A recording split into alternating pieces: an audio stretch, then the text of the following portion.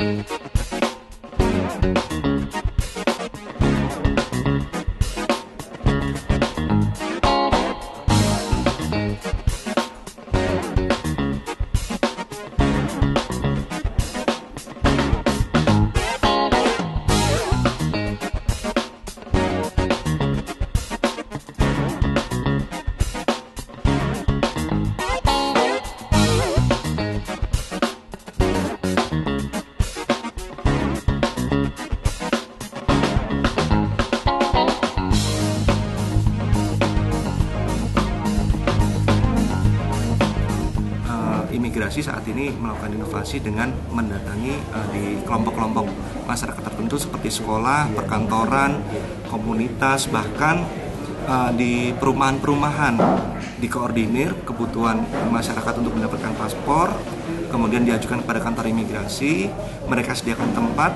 petugas dan peralatan dari kantor imigrasi akan didatangkan di lokasi tersebut dan kami melakukan layanan imigrasi di tempat tersebut.